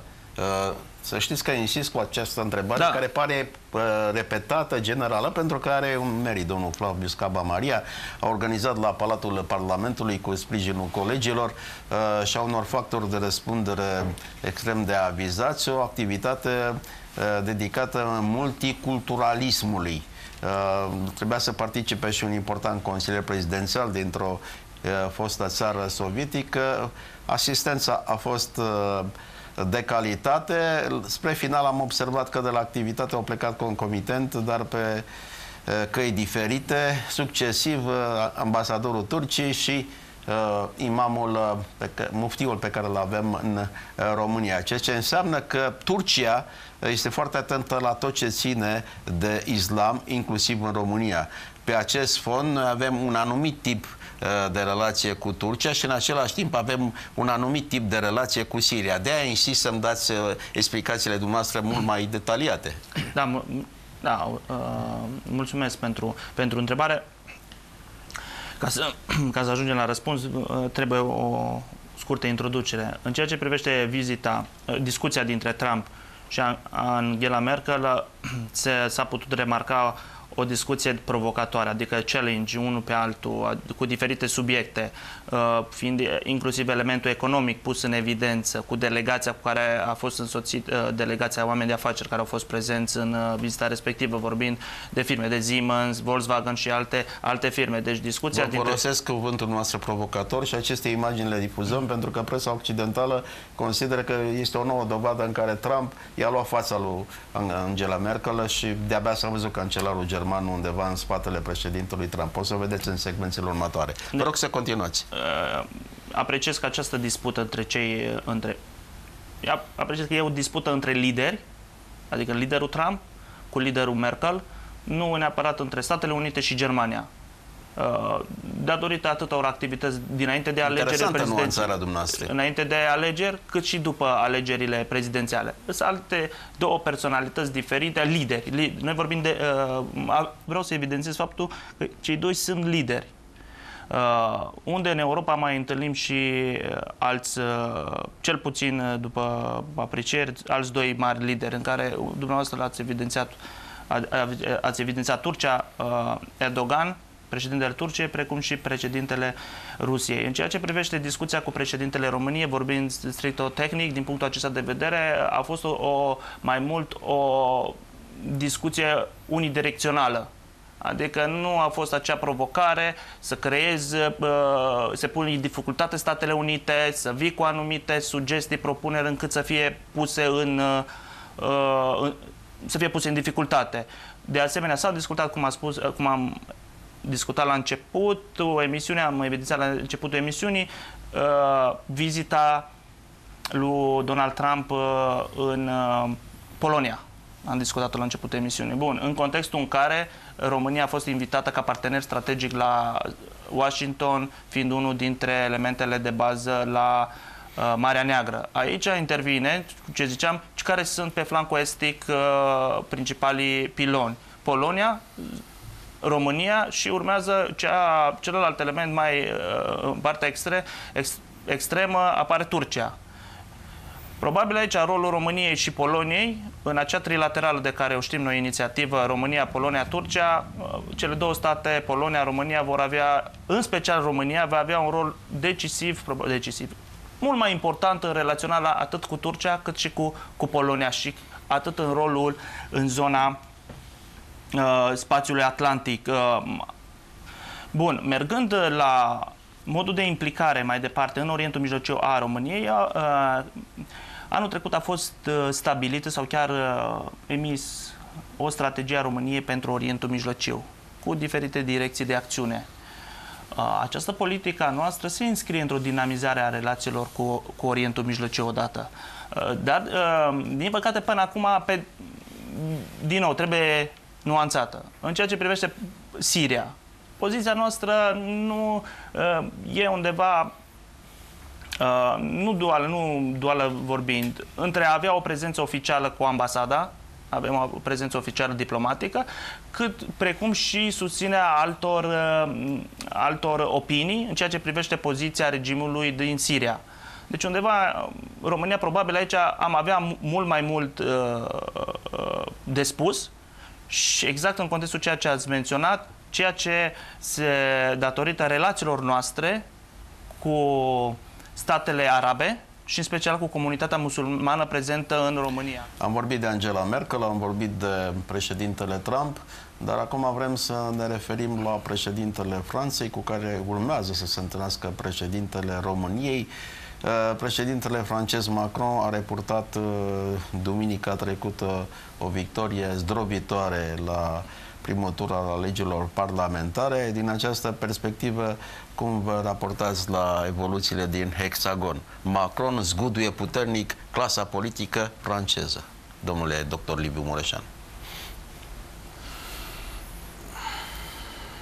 Și uh, în Franța, ca și în Statele Unite, uh, era nevoie de o zguduire și uh, probabil că ea va fi uh, începută într-un uh, context care trebuie să fie benefic pentru Franța. Sunt o serie întreagă de lucruri care diversele formule politice franceze până acum le-au uh, au amânat. Schimbări, modificări, adaptări ale Franței, ale economiei franceze la o serie de, de reglementări. Uh, este o economie mare și care este în mare parte ne, uh, nerestructurată. Uh, elementele sociale care au o întârziere foarte mare față de alte țări. Mi-amintesc de Germania care în urmă cu 10-15 ani a luat niște măsuri extrem de dure și care le-a luat uh, la momentul respectiv cu sacrificarea formulei politice de atunci, dar care au dus la revigorarea și la dinamismul economiei germane actuale. Uh, este important că s-au aplicat o serie întreagă de reforme, de, dacă vreți, inclusiv de reprezentare, pentru că uh, în noile grile și noile formule de a alege reprezentanții se oferă șansă pentru participarea mai multor femei, tineri, Uh, se evită participarea unei persoane în două, trei formule de, de conducere politică, uh, de unde se luau avantajele respective și ne putem da seama ce înseamnă să ai două, trei responsabilități diferite, uh, cât timp poți să dedici și cât de mult ești angajat. Ori acum se îndreaptă Franța spre o nouă realitate care să uh, îi confere acestui președinte o statură politică de reformator. Să apropo, vedem în ce măsură va reuși acest Apropo, lucru. cu un parlament uh, cu o majoritate zdrobitoare în favoarea uh, președintelui, cu un guvern al său, uh, Macron va putea pas cu pas ca să-l citez pe domnul președinte Claus Iohannis, e titlul cărții sale, va putea pas cu pas să facă schimbările promise electoratului francez? Uh, el va fi uh, nu numai nevoit, el va fi uh, gata să facă acest lucru. Se pare că din convingere. Este un politician angajat, ați văzut în 14 luni, a avut o decolare în aceasta pe verticală. Are doar 39 uh, de ani. Și uh, are o, și Franța are o șansă extraordinară și are și el. Acum, aspectele care ne interesează pe noi uh, sunt cele care țin de uh, rolul pe care Franța dorește să-l joace în securitatea și apărarea europeană. Pe, pe premierul francez care a avut o întâlnire cu premierul uh, momentului respectiv, uh, premierul uh, de la București, Glinteanu. Da. Deci, uh, probleme de securitate și apărare a Europei. Să vedem ce înseamnă în uh, perioada următoare angajarea Franței alături de Germania și de celelalte țări pentru construcția uh, unei formule de apărare europene care să fie complementară cu Alianța Până la apărare europeană, iată secvențele în care președintele Macron i-a spus o verde în față președintelui rus că a fost o implicare a postului de televiziune Russia Today și a platformei mediatice Sputnik în campania electorală prezidențială din Franța și consideră acest amestnic unul de propagandă. Sigur, Putin a negat. Da, aici trebuie să vedem că există totuși o linie care trebuie să fie o linie respectată, interesul față de un anumit fenomen politic deosebit de important, dorința de a informa uh, telespectatorii și a depăși această linie pentru a merge spre o anumită influențare. Da, dar lui Figaro scria că președintele Macron a spus uh, președintului Putin ceea ce și alți lideri occidentali gândesc. Uh, da, are șansa să fie la început de drum uh, și probabil că s-a cântărit un pic ce înseamnă interes francez în Federația Rusă și interesul Federației Ruse în Franța. Dacă ne amintim, uh, nu cu mult timp în urmă, uh, colaborau atât de bine Franța și, și Federația Rusă că erau să afecteze securitatea noastră națională prin acele nave Mistral în Marea Neagră. Cât pe aici să sosească. Și așa mai departe. Deci uh, lucrurile sunt complicate. Sunt puteri mari care au o istorie comună, au interese mari, mari, de care nu se prea vorbește și există și niște discursuri pentru publicul intern și internațional. Trebuie să vedem ce este uh, ce rămâne după și ce este practic dosarul respectiv a relației Franței cu Apropo de Federația dosar, Rusă. domnule Flaviu Scaba Maria, aici avem uh, un interviu realizat uh, într-un tren, dar un interviu realizat de către britanici înainte de a deveni președinte ales Macron. Eh, ceea ce mă interesează pe mine de la dumneavoastră, eh, vorbeam anterior de Siria. Siria a fost în zona de influență franceză. Ce se întâmplă cu Franța? Nu mai este interesată de Orientul Mijlociu? E interesată sau intenționează să redevină interesată, mai bine spus așa, chiar dacă uh, anterior prezența a fost puțin mai uh, diminuată, și anume în diferite acțiuni. Și aici putem vorbi nu numai de Siria, ceea ce a spus dumneavoastră, ci uh, trebuie evidențiat și relația uh, cu Iranul după semnarea acordului nuclear, unde între cele două state, din punct de vedere economic, uh, cel puțin s-au semnat foarte multe uh, proiecte care urmează să fie implementate inclusiv acea vizită, trebuie evidențiată acea vizită al lui Rouhani de anul trecut din uh, ianuarie în, uh, în Franța care a dus la semnarea unor contracte foarte importante pentru Franța. Franța a început să-și reia locul pe uh, uh, dimensiunea economică iraniană. Vorbind de Siria, că despre dacă rămânem în linia Siriei, bineînțeles, Franța uh, își dorește o abordare pragmatică cu, cu Siria, uh, dar uh, aici apare acea discrepanță. În ce linie va merge? În linia politicii a Uniunii Europene, directă cu, cu Siria, sau în linia Franța-Siria, cum abordează și alte state. Uh, de aceea, în contextul Siriei, eu apreciez că rolul României e unul foarte important datorită acestor anumitor relații, uh, să zic, tradiționale, nu neapărat istorice, ci tradiționale, pe diferite dimensiuni.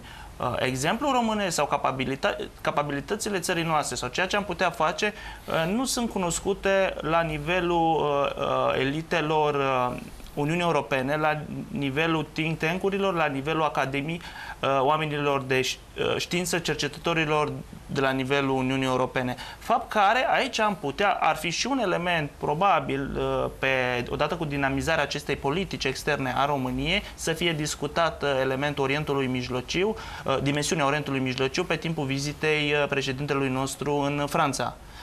În același timp, la Washington, președintele României, pe drept cuvânt, a insistat asupra necesității dezvoltării relațiilor economice româno-americane. Vă întreb, la întrevederea pe care o va avea Claus Iohannis cu președintele Macron, credeți că va ridica și această problemă a relațiilor bilaterale economice?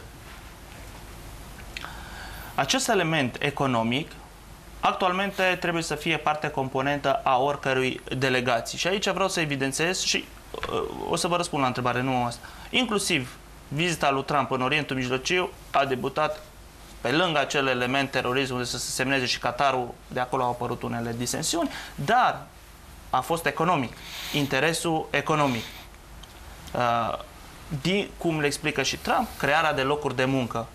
Această discuție cu, cu Iohannis uh, pe dimensiunea economică, cred că vom vedea un rezultat imediat în săptămânile următoare, unde va avea loc o delegație, o delegație din România se va deplasa în Statele Unite pentru a discuta cu partenerii americani în vederea relansării unor uh, investiții în România. Dar, tot în acest context, trebuie evidențiată această diferență între, Fra- între Franța, ca parte a Uniunii Europene, și Statele Unite. Uh, relația noastră sau balanța noastră comercială, import-export sau interesul nostru, 75% este orientat spre Uniunea Europeană. După care am mai zis, 10-15% cu celelalte state din Europa și 10-15% cu, alte sta- cu celelalte state din lume, inclusiv Statele Unite, inclusiv China, inclusiv uh, al, uh, Iran sau alte uh, state din Orientul Mijlociu.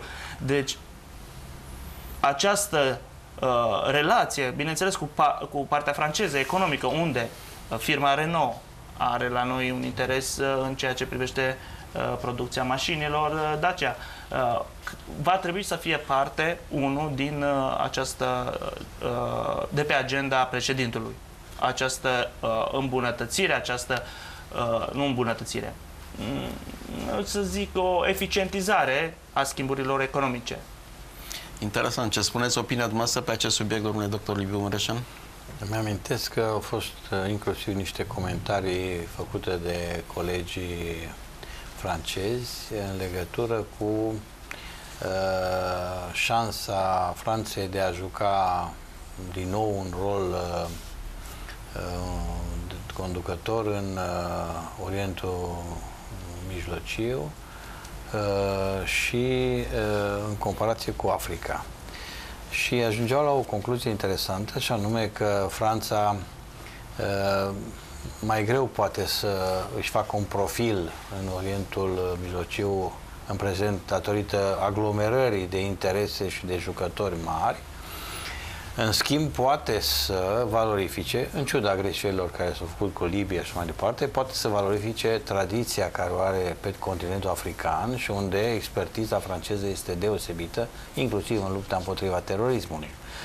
Uh, în acest uh, sens, uh, dacă urmărim și alocarea forțelor acestea speciale, alocarea forțelor diplomatice pentru zona africană, uh, se vede o prioritate, o prioritate a Franței față de continentul african. Uh, în același timp, Siria este o și Orientul apropiat uh, este o parte din istorie unde s-au desenat pe hartă niște granițe care acum se constată că au avut un, un efect pervers căutat sau nu, uh, și uh, trebuie să țină cont și de faptul că uh, țările din regiunea respectivă au început să se manifeste ca atare și să aibă puncte de vedere, să aibă, dacă vreți, chiar rezultate în abordări. Dacă ne uităm mai la administrația de la Damasc, care era o formulă până acum câteva luni că mâine trebuie schimbat uh, conducerea de la Damasc pentru că altfel nu se face pace în Siria și treptat a ajuns să recunoască că lucrurile sunt mult mai complexe, că acolo nu mai sunt numai sirieni pe teren, că luptele se dau între diverse mari puteri cu reprezentanții care iau pe teren, uh, toate aceste grupări, așa zise, revoluționare, teroriste, antiteroriste și uh, uh, e greu să intervii acum dacă nu ai cu adevărat un rol de jucat. Și în spațiul rămas liber a intrat Federația Rusă cu rezultatele care le cunoaștem, cu transformarea zonei într-un poligon de experimentare a noilor arme, cu un, uh, o prestație diplomatică în forță, așa încât a scăzut interesul față de Ucraina, Crimea, internațional, spune interesul, și adică sunt niște jocuri mari unde Franța a realizat că Africa este locul unde ei pot să joace, au jucat, joacă, au rețelele respective și ar putea să aibă și o contribuție. O întrebare da. pentru amândoi uh, invitații. Întâi, domnul Flavius Scaba Maria, rog să răspundă. Uh, președintele Claus Iohannis a stat de vorbă în birou oval o oră cu președintele Donald Trump. În același timp, anterior, în perioada summitului NATO, uh, la ambasada americană din Bruxelles, președintele Franței a beneficiat de un dejun de lucru. Uh, nu asista presa nici la discuțiile din birou oval dintre președintele României și cel al SUA, nici la discuțiile dintre Trump și Macron de la ambasada uh, americană din Bruxelles. Uh, din această perspectivă a celor două întâlniri, cum se va raporta, domnule Flavius Cava Maria, președintele Macron la președintele Iohannis? La întâlnirea anunțată. Da, eu acest triunghi, acum vorbim de triunghiul mic a domnului profesor Mureșan, uh, Franța, Statele Unite, așa zis România în, în, în speța noastră.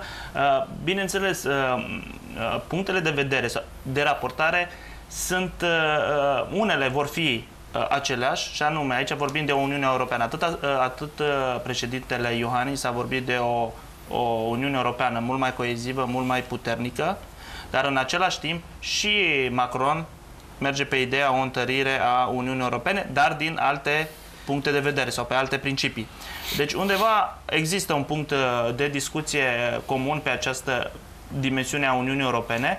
În ceea ce privește partea uh, alianței, aici apar uh, unele uh, nuanțări, uh, contribuții, atât în ceea ce privește uh, um, partea securitară a flancului estic, unde noi vorbim de această relaționare cu, stat, cu Rusia, unde Macron a avut acea întâlnire cu președintele Putin, unde pe timpul relațiilor uh, dintre, pe timpul discuțiilor, cei doi cel puțin au evidențiat trei lucruri esențiale și anume lupta împotriva terorismului, ca asta uh, de care discutam, uh, în care Rusia este prezentă în Siria și unde a exploatat acum acela de uh, uh, diplomație, de diplomație de, da, din uh, 2013 uh, și unde și-a, și-a impus un punct de vedere, uh, unde există o acea colaborare, ar putea exista o colaborare Franța-Rusia pe elementul uh,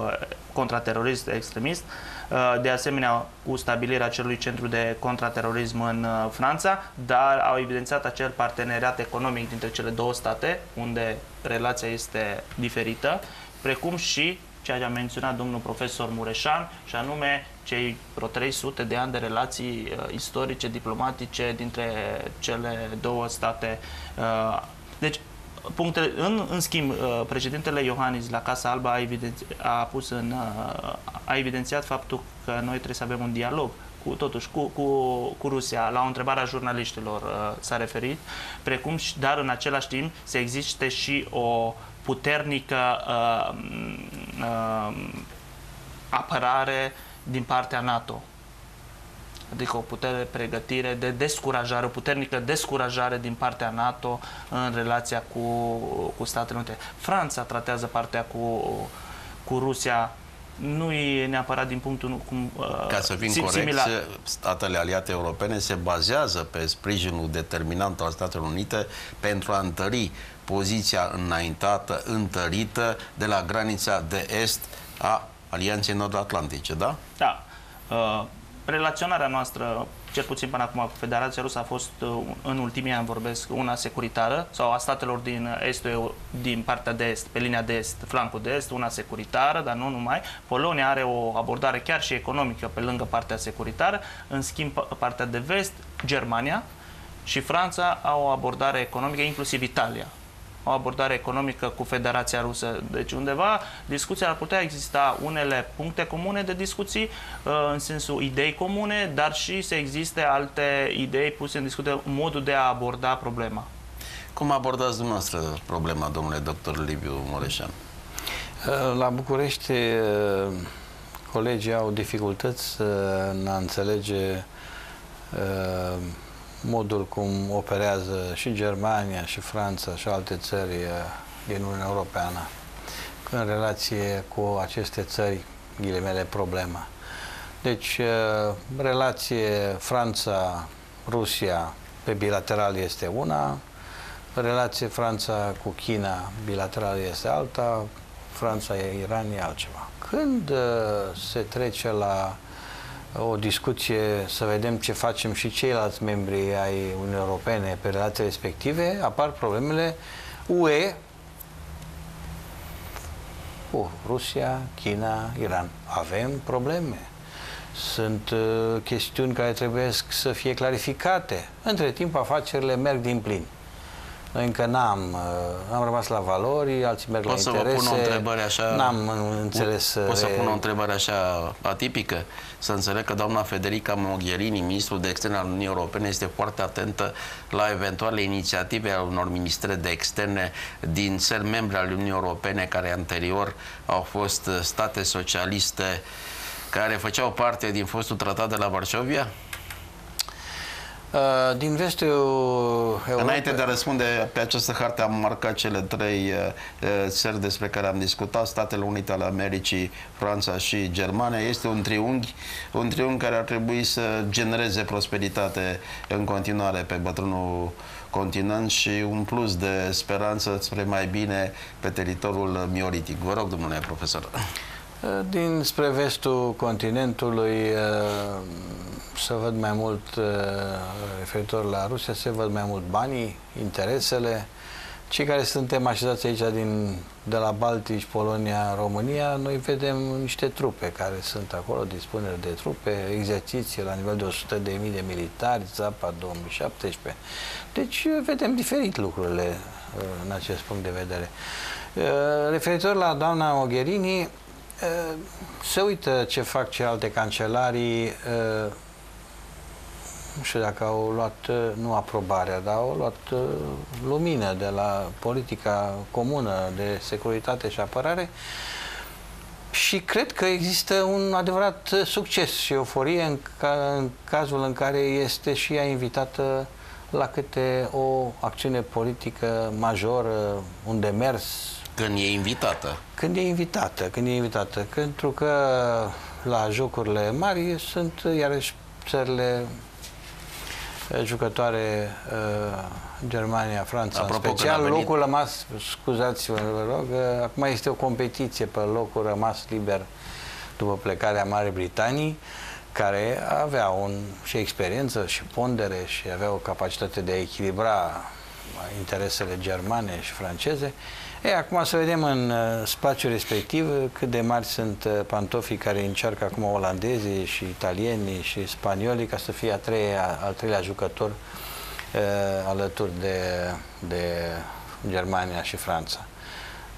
Mai e, mai e încă un drum lung până când uh, Uniunea Europeană uh, va avea o politică uh, de securitate și o politică de apărare, o politică externă comună. Și asta nu pentru că este incapacitate la Bruxelles. Există mari interese în, în cancelariile din uh, principalele țări membre și uh, lucrurile așa se văd uh, și dinspre uh, Washington când se dorește să știe cu cine se stă de vorbă. Până acum se știa că e Germania, e, avem un, un disconfort uh, de strângere de mână sau lipsă de strângere de mână pentru o perioadă, dar din câte așa am văzut eu de-a lungul timpului, atât americanii cât și rușii știu să strângă mâna atunci când vor să facă niște activități în, în, în comun. Am ajuns la finalul emisiunii, aveți câte două minute distinși invitați ca să vă expuneți concluziile vis-a-vis -vis de reușita celui care acum conduce România de a se întâlni cu președintele Statelor Unite, de anunțul privind uh, reîntâlnirea cu cancelarul german și de uh, menționarea unei întrevedări substanțiale, sperăm, cu președintele Franței. Întâi, domnul Flavius Caba Maria. Vizita președintelui României în Statele Unite fără, fără alte comentarii a fost sau este considerată o vizită istorică, uh, pune în evidență o relansare a diplomației noastre pe diferite dimensiuni. A fost pregătită, bineînțeles, la de exper- experți în uh, special în diplomație pentru discursul și tot ceea ce s-a întâmplat și modul de abordare a problematicilor respective. Uh, unde noi am evidențiat din nou acest uh, determinism în relația transatlantică și parteneriatul strategic cu Statele Unite. În ceea ce privește Orientul Mijlociu aici, un, un domeniul de interes și ceea ce urmează a fi, apreciez faptul că după această vizită, Iohannis sau președinția, respectiv împreună cu elemente de, de, guvernamentale, vor avea în vedere organizarea unei vizite extinse, probabil în Orientul Mijlociu. Vreau să evidențiez unele posibile state pe baza celor discutate sau a vizitelor de, din Statele Unite și anume am putea vedea o vizită în Arabia Saudită, o vizită în Israel, o vizită în Egipt, o vizită în Iordania, poate să fie un, un turneu. Deci, uh, într-adevăr, politica noastră a început să aibă o dinamizare și spre spațiul Orientului Mijlociu. Uh, vreau să vă mulțumesc pentru ideea faptului, pentru faptul că ați adus în discuție acea, acel eveniment privind multiculturalismul, uh, unde mai mulți membri ai Clubului Militar de Reflexie Euroatlantic au participat și și-au expus uh, elementele și opiniile. Uh, de asemenea, vreau să evidențiez faptul că a fost uh, de către echipa mea, am întâlnit un raport unde am pus niște concluzii și recomandări pentru decidenții politici și cei care urmează sau cei persoanele interesate în abordarea acestei uh, tematici. Iar al treilea element Uh, rămânând în sfera terorismului sau a luptei contra terorismului. Vedeți că la începutul lunii iulie intenționez să, să organizăm o conferință pe acest subiect, o conferință anuală pe care organizez în lupta împotriva terorismului, să aducem la, această, la acest eveniment mai mulți actori, inclusiv ceea ce ați, ce ați uh, prezentat și dumneavoastră, inclusiv din Franța, cu nou, o nouă abordare a Franței în, uh, pe palie, pe dimensiunea teroristă, dar încercăm și să vină și din Germania și precum și din alte zone ale Orientului Mijlociu. Uh, uh, evenimentul care va fi organizat tradițional anual pe linia luptei împotriva terorismului. Bila albă pentru acest final cu foarte multe enunțuri interesante vis-a-vis -vis de programul viitor. Domnule doctor Liviu Mureșan, vă revine onoare să trageți concluzia finală. Da, e în primul rând, vizita în Statele Unite o tratăm ca atare, un succes, este un început, e o deschidere, trebuie să dăm substanță, lucru care ne-a cerut de ani de zile colegii americani, parteneriatul strategic nu are, are un schelet, dar are prea puține lucruri puse pe acel schelet, trebuie să-i dăm substanță din multe puncte de vedere. La acele capitale și vizite importante care le menționa colegul Flavius Caba Maria, mi-aș permite să adaug uh, pentru București uh, să aibă în vedere două capitale care sunt extrem de importante și anume Beijingul și Moscova, unde noi trebuie să ajungem să avem uh, niște vizite, niște înțelegeri și niște relații normale, dacă e vorba de Federația Rusă, niște relații, dacă vreți, strategice, constructive cu partea chineză.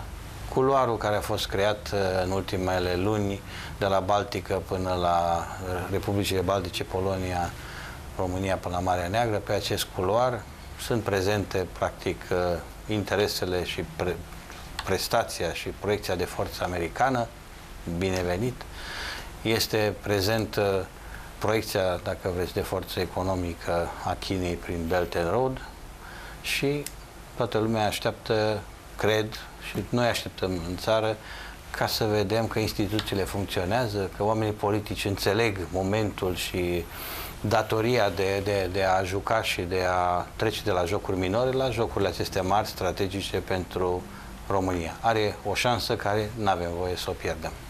Mulțumesc frumos, domnule doctor Liviu Mureșan, pentru echilibrul, dar și ironiile fine pe care Eh, le-a folosit de lungul minutelor afectate emisiunii Valorii Euroatlantice. Mulțumesc frumos și domnului doctorant Flaviu Scava Maria pentru expertiza pe zona Orientului Mijlociu. Vă mulțumesc frumos și dumneavoastră și vă invit să ne revedem miercuri la ora 18 la emisiunea Agenda Săptămânii. Bună seara!